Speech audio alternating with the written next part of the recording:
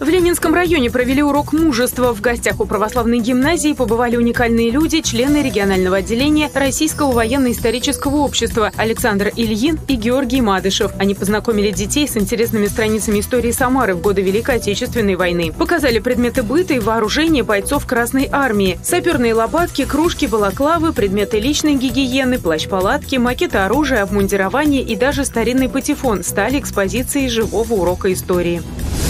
Телеграм-канале Департамента опеки, попечительства и соцподдержки рассказывают, в каком случае опека может не разрешить продать квартиру с детскими долями. Каждая ситуация рассматривается индивидуально. Отказ вероятен при покупке квартиры в строящемся доме. Пока идет стройка, у детей не будет нового жилья в собственности и возможной регистрации по месту жительства. Дарение доли в другой квартире до продажи. Родители могут заранее подарить ребенку долю в другой квартире, но опека и даже суд, вероятно, не примут это во внимание и не разрешат продать квартиру, потому что доля выделена до продажи а значит она у ребенка уже была, и после отчуждения доли его жилищные условия не улучшатся. Покупка квартиры в ипотеку. Большинство банков не разрешает выделять доли детям до полного погашения ипотеки. Если семья окажется неплатежеспособной, банк заберет квартиру, и дети останутся без жилья. Учитывая это, органы опеки отказывают в продаже детских долей и частичном погашении ипотеки на другое жилье. Если семья деньгами от продажи жилья с детскими долями полностью погасит ипотеку, опека может разрешить сделку.